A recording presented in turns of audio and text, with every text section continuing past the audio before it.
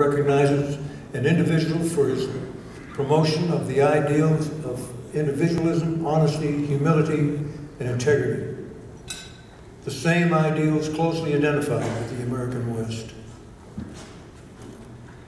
Tonight we recognize a leader of the West who shares and exemplifies those same characteristics.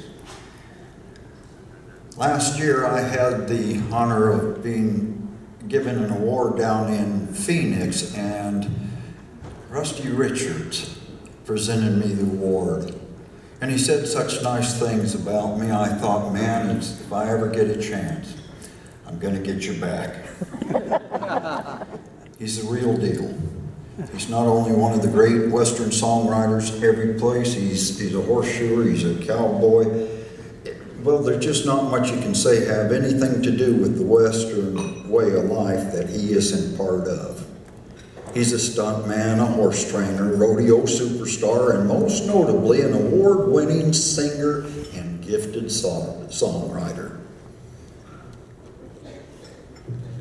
I've known Rusty Richards for many, many years, and uh, I can't think of anyone more deserving of the great Chester A. Reynolds Award than Rusty. He's such a such a wonderful man, a wonderful writer, a sure enough cowboy.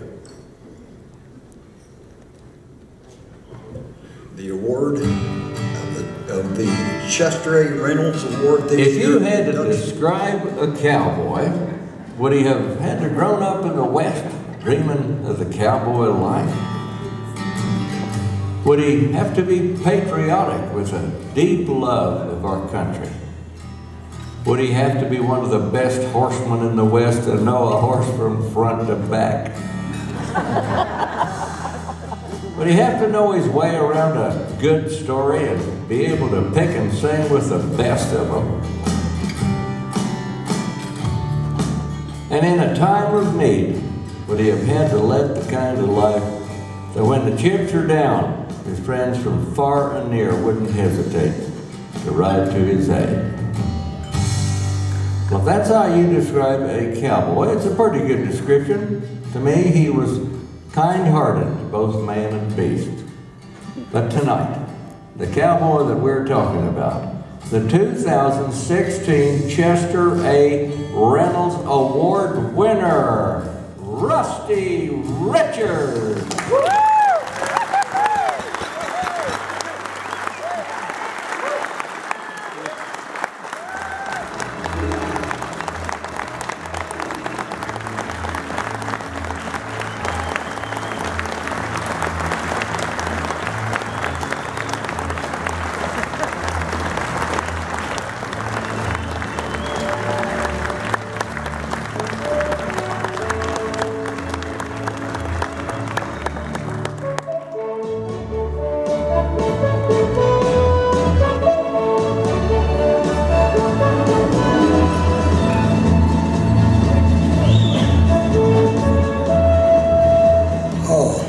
I feel overwhelmed, actually. Um, Thank you so much, Waddie and Don and Baxter, for that wonderful introduction. Uh, I'm lucky in more ways than one to be here tonight. About five weeks ago, I got thrown to the ground by a horse, and uh, it was pretty hard ground. It sounded like a bunch of tuba fours breaking. So I'm still smarting a little bit, but I'm just delighted to be here. I'm really thrilled by this wonderful honor. I am deeply honored to have been chosen to receive this wonderful award, and so grateful to Chester A. Reynolds for having founded this magnificent place. I don't, don't even know who is responsible for my having been chosen, but it was Bill White who first said to me that he thought that I should be recognized.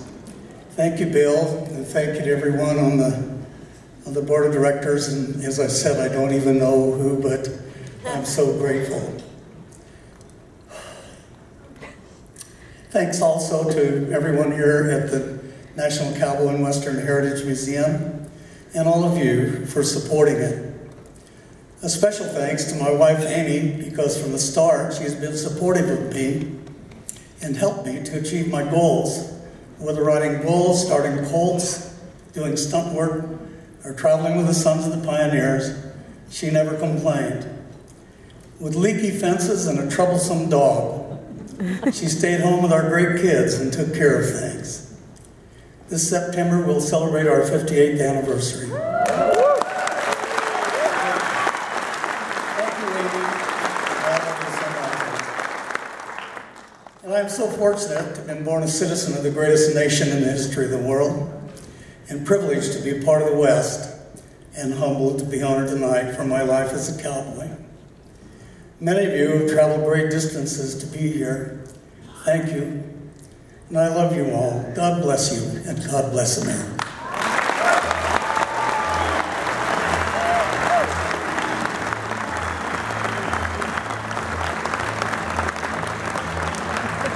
The presenters of our next three Western Heritage Awards in the film category are no strangers to the industry themselves. Please welcome film and television producer and museum board member Lincoln Logeson and actor, artist, and inductee into the Hall of Great Western Performers,